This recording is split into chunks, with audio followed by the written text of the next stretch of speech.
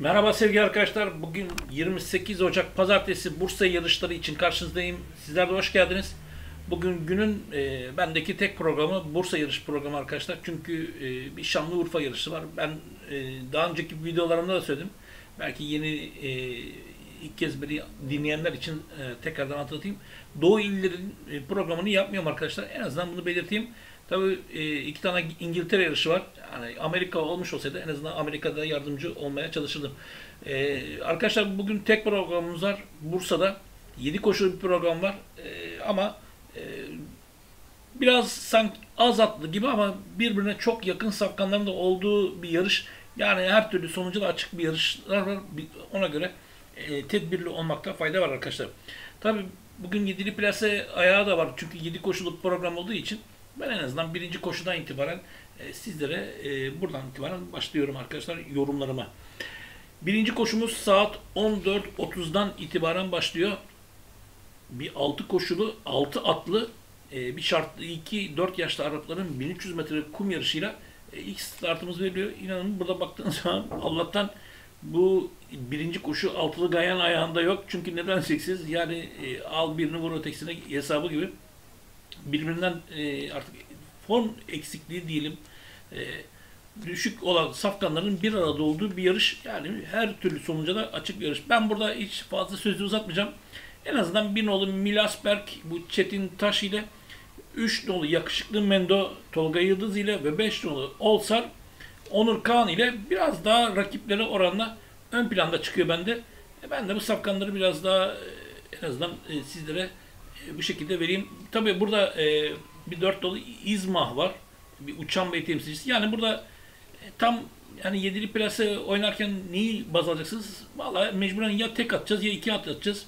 İsterseniz burayı 1-3 olarak geçebiliriz veya 5-6'yı ilave edebiliriz. E, tabii burada 6'nın da geliri var, 2'nin de geliri var. Yani zor bir koşu. Birinci koşumuz gerçekten çok zor başlıyor. Ama ben her şeye rağmen en azından 1-3'ü biraz daha ön planda tutayım. En azından biraz daha bende şanslı geldi. Ama daha sonra 5, 4, e, 6, 2 diye sıralama gidiyor arkadaşlar. Yani zor bir koşu. Allah'tan e, altılı ganyan içerisinde değil yoksa bu ayağı haş deyip geçmek zorunda kalacağımız bir yarışlardan birisi. Gelelim altılı ganyan ayaklarına. Burada baktığımız zaman 11 safkanın yarış e, yer aldığı bir şartlı 2, 4 ve yukarı İngilizlerin 1800 metre kum yarışında burada 1 ve 4 nolu safkanların da ekür olduğu bir yarış. E buraya baktığınız zaman kağıt üstünde bir 5 nolu Oshis her şeyle ön planda çıkıyor ama Safkan'da e, tabii ki eski formu yok. E, çünkü yoksa normal şartlar altında bu grup hani yanında günün en sağlam bankosu diye sizlere sunabilirdim ama Safkan'ın işleri biraz kısa işlerle hazırlanıyor. Fazla ciddi hani eski durumdaki işlerini rastlayamadık ama her şeyle kalite bir safkan olduğunu unutmamakta fayda var. E, bugün Tolga Yıldız'la start alacak olan bu 5 nolu Oshis e, bence ilk yazılması gereken safkan. Ben bu safkanın yanına en ciddi rakip olarak Altınoğlu Madenci, Ütopya'nın güzel temsilcisi olan safkan. E, geçen yıl sürekli verdiğimiz ama bir türlü gelemeyen bir safkan. Bugün Murat Gündüzeli ile start alacak olan bu safkan. En azından iyi durumda, iyi hazırlıklara sahip. Bence 5-6 biraz bu gruptan biraz daha ön planda e, yazılması gereken isim. Yani normal kuponlar için 5-6 deyip bu ayağı bu şekilde de geçebiliriz. Yani risk alabiliriz. Ama yanına at yazmak isterseniz de o zaman bu ekür avantajıyla koşacak olan bir 4 nolu Frankenstein. Ee, Yunus Emre Yüksel ile start alacak olan bu safkan aynı zamanda 1 nolu Anita Black ile ekürü e, her iki safkanın genel görüntüsü e, birbirine yakın. Yani 4 nolu Frankenstein'de bu kuponları yazabiliriz. Daha sonra 2 nolu Fair Max. E, bu safkan da bu mesafeye yatkın bir safkan. Son dö- güzel dördüncülüğünden sonra Alican İnci, İnci ile yine yazılması gereken bir isim olur. Ve son olarak da 8 nolu Pets of Victory. Bir Victoria Galop temsilcisi Kurtel arasından bu safkanda Selim İpek'le en azından bu safkanın ilk yarışını kazanmış iyi bir isimdi ama ondan sonra bir türlü e, birincilik kavuşamadı. Zaten toplam 4 yarış koştu. En azından 12 gün önce bir yarış da gördü. E, sıfır çekti ama bu safkan en azından hazırlık olarak da fena değil. Yani iyi bir yarış koşmasını beklediğim bir diğer isim olacak. Ama öncelikle 5-6 daha sonra 4-2-8 benim bu ayak için tuttuğum safkanlar. Gelelim günün ikinci ayağına. Burada da bir maiden 4 yaşlı Arapların 1800 metre kum yarışında 9 safkan arasında koşacak olan bu yarışa baktığımızda e, en sonunda bir 21 gün önce yarış hayatına başlayan iki nolu Balkan ağası e, koşmuş olduğu o güzel yarışta güzel bir ikincilik elde edince bu A Batur temsilcisi Halil Kaplan'la Ben bu yarışı kazanmasını bekliyorum. E, en azından artan bir nefese sahip daha iyi hazırlıklarla e, artan nefesiyle ben bu yarışı kazanmasını bekliyorum. O yüzden 2 nolu Balkan Ağası benim burada sizlere önereceğim e, banko isimdir arkadaşlar. 2 nolu Balkan Ağası Halil Kaplan'la benim banko. Günün 3. aya şartlı 2 dişilere ait 3 yaşlı İngilizlerin 1800 metre kum yarışına geldiğimizde 6 safkan arasında koşacak olan bu yarış yine zor bir koşu arkadaşlar.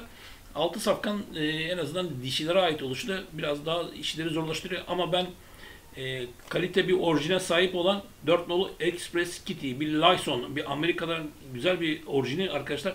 Ben en azından bu safkanı da daha önceden takip ettiğim bir isim. E, bugün Furkan Yüksel'le en azından son koşmuş olduğu bu güzel ikinciliği tam fotoda yarışı verdi. Zaten bir fotoda kaybedilen bir yarış var. Ben artan e, formuyla bu yarışı Furkan Yüksel'le kazanmasını bekliyorum. 4 nolu Express Kitty'yi o yüzden sizlere günün ikinci bankosu olarak 4 nolu Express Kitty'yi tek olarak öneriyorum arkadaşlar. Benim bugün iki bankolu bir oyunum vardı. Bu da 4 nolu Express Kitty bir diğer bankom. Ben de sizlere banko olarak öneriyorum. Günün dördüncü ayına geldiğimizde handikap 14 3 yaşlı İngilizlerin 1300 metre kum yarışında 6 safkan arasında koşacak olan bu yarışta işte burası biraz zor bir ayak. Mümkünse valla bu ayak kapatmakta bence fayda var. Çünkü hemen hemen hepsinin de geliri var arkadaşlar. E, öncelikle onu söyleyeyim. Yani bu ayak tam kapamalık yani bir haş deyip e, geçmek bence en kolayı olacak. E, tabii bu bütçeler el verdiğince bazı yerleri kapatabiliyoruz. Her ne kadar az atlı da vermiş olsak da ama burada benim sıralamaya gelecek olursak e, son yarışında güzel bir üçüncülük elde eden e, bir dört nolu maden dumanı bu renkin temsilcisi Çetin Taş'ta ben ilk şans verdiğim isim. Yani bendeki favori, buradaki favorim dört nolu maden dumanı olacak. Daha sonra 5 nolu Angel Pearl, bir Fastar Line gibi süratli bir aygırın tayı olan bu safkan Nevzat Avcı ile start alıyor. Bu yıl koşmuş olduğu iki yarışta tabelaya e, sığınan bu safkan bence daha da iyi duruma geldiği için bugün Nevzat Avcı ile 5 nolu Angel Pearl'ü ikinci safkan olarak kuponlara ilave edebiliriz. Daha sonra iki nolu Charlie Boy, bir My Boy Charlie temsilcisi iyi bir kanatına sahip Nurettin Şen'le start alacak olan bu safkanda son güzel ikinciliğiyle yine buranın iddialı şanslı isimler arasında ve son yarışında nihayetinde yarış kazanıp meydana çıkan bir nolu Grey Hall, bir Uproll temsilcisi bugün Tolga Yıldız'la kazanmış olduğu yarıştan sonra e, ikinci yarışını kazanmak için sahaya çıkacak. Yine buranın iddialı isimleri arasında olmasını beklediğim isim. Yani biraz e, 6 safkanlı koşan bir yarışta 4-5-2-1 ben de biraz daha ön planda.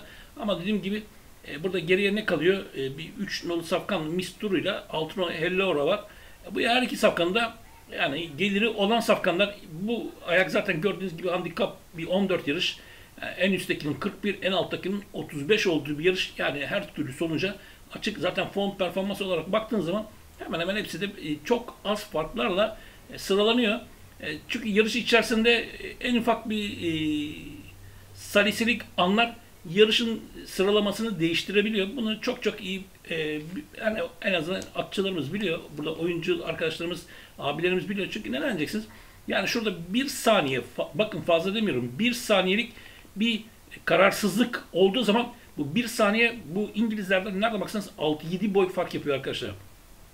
Yani bir saniyede 6-7 boy fark demek yani inanın baya büyük bir fark. Yani işte bu hatalar oluyor. Sürekli oluyor. Bütün yarışlarda oluyor. Hani baş şokeyimiz de yapar. Alttaki aprantimiz de yapar. Bu sürekli yarış içerisinde olan şeyler. Çünkü o an önüne birisi geçer.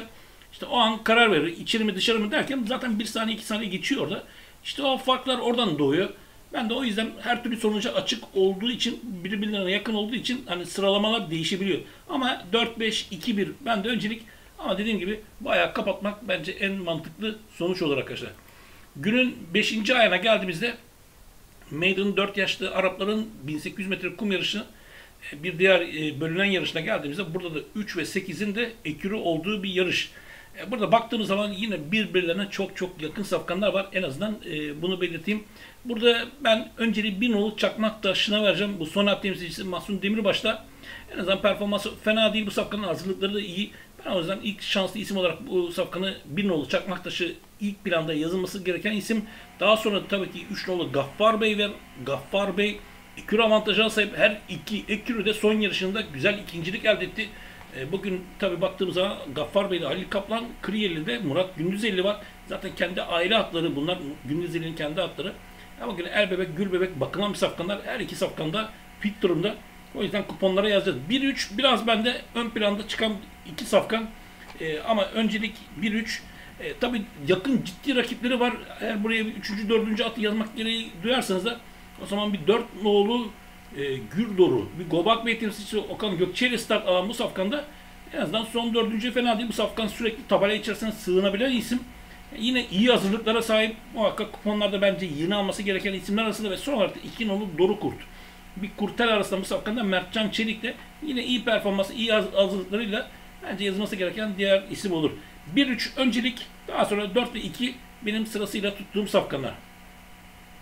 Günün son ayağına geldiğimizde işte günün en çok bence kalabalık yazılması gereken ayaklardan birisi de burası.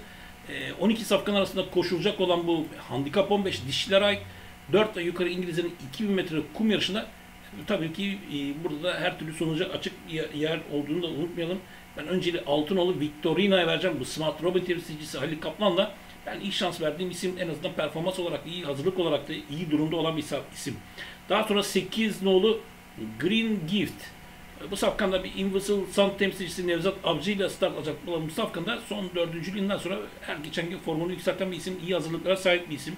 Daha sonra 4 nolu Lady of Kaneko, ekürü avantajına sahip 10 nolu Arpello'da ekürü olan bu safkanda yine bu mesafelerdeki etkin yarışlarını unutmamak lazım iyi, iyi durumuyla bence yazılması gereken isim. Daha sonra bir nolu dilim yandı. Rakip oranında biraz kilosu ağır olsa da bir Ofla White'in güzel temsilcisi olan bu safkan Alican İnci ile yine performansı zaten daha iyi gruplarda bile derece çıkartabilen bir isim. Son 6 yarışa baktığınız zaman zaten ilk 3'ün içerisinde sürekli e, dolanan bir isim. Yani her zaman birincilik mücadelesine giren bir isim. O yüzden bir nolu dilim yandığı yazacağız. Artık dilimiz yanmaması için. Daha sonra 3 nolu Van Low bir Rockmaster diğer temsilcisi olan bu safkanda Çetin Taş'la start alıyor. Yine oldukça etkili ve güzel performansı ve formuyla yazılması gereken son isim olur. 6, 8, 4, 1, 3. Benim burada öncelikli olarak kuponlara yazılması gereken isimler. Eğer biraz daha yeriniz varsa genişletmek geri duyanlar için de en azından 2 nolu Heroes Rockmaster temsilcisi İsmail Dinar'la en azından performansı iyi ve son hafta 7 nolu Angel Share ve Platinum Perfect temsilcisi olan bu safkanda kuponlara ilave etmek isteyenler için ideal isimler. Yani 6, 8, 4, 1, 3 öncelikli olarak kuponlara yazalım. Eğer genişletme gereği duyanlar için de 2 ve 7'yi de tercih edebilirler arkadaşlar. Arkadaşlar benim bugünkü Bursa programı bu kadar. Herkese bol kazançlar diliyorum. E, bol kazançlar dedikten sonra tabii ki en azından e, kesinlikle kesinlikle arkadaşlar ben e, büyük oynaması tavsiye etmiyorum. Ben bazen e, sıralama yapıyorum. Kalabalık gibi geliyor. Sadece orada tercih yapmanız için açısından en azından benim tuttuğum safkanları sıralama açısından söylüyorum. Yani kalkıp da yani bu oyun çok büyük bunu ben bu şekilde yatırayım diye yapmayın arkadaşlar. Ben zaten hiçbir zaman için tavsiye etmiyorum. Ya bu işi zevk olarak oynayın, hobi olarak oynayın ama kalkıp da hani illa ben bunu kazanacağım burada para kazanacağım amaçla oynadığınızda inanın kaybetme ihtimalimiz daha yüksek oluyor. En azından hobi olarak, e, zevk olarak oynadığınız zaman daha rahat oynarsınız. En azından bunun da zevkini zaten benim ne demek istediğimi anlamışsınızdır. Herkese bol kazançlar diliyorum. Tekrardan yarın görüşmek üzere. Hoşçakalın.